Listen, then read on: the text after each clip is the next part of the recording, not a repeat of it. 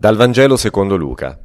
Due dei discepoli erano in cammino per un villaggio di nome Emmaus, distante circa 11 chilometri da Gerusalemme, e conversavano tra loro di tutto quello che era accaduto.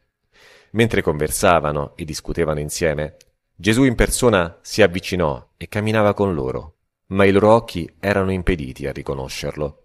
Ed egli disse loro, Che cosa sono questi discorsi che state facendo tra voi lungo il cammino? Si fermarono, col volto triste. Uno di loro, di nome Cleopa, gli rispose Solo tu sei forestiero a Gerusalemme. Non sai ciò che vi è accaduto in questi giorni?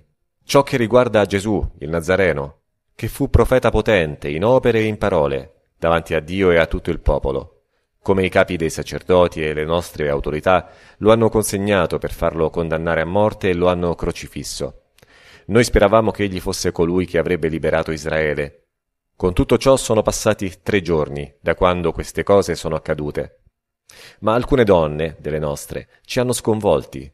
Si sono recate al mattino alla tomba e non avendo trovato il suo corpo, sono venute a dirci di aver avuto anche una visione di angeli, i quali affermano che egli è vivo.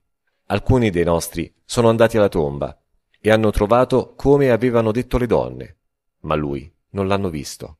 Disse loro, stolti e lenti di cuore a credere in tutto ciò che hanno detto i profeti.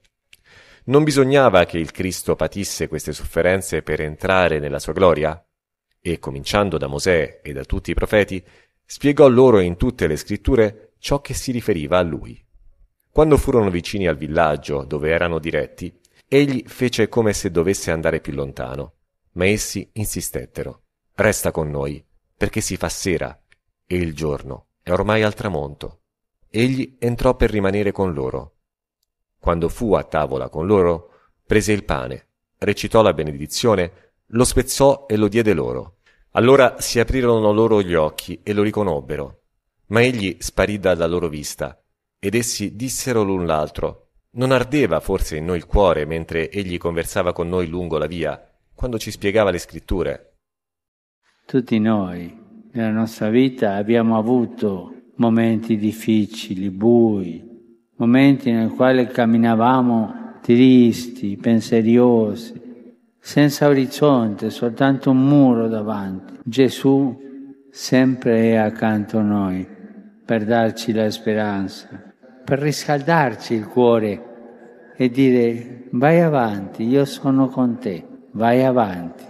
Il segreto della strada che conduce a Emmaus è tutto qui.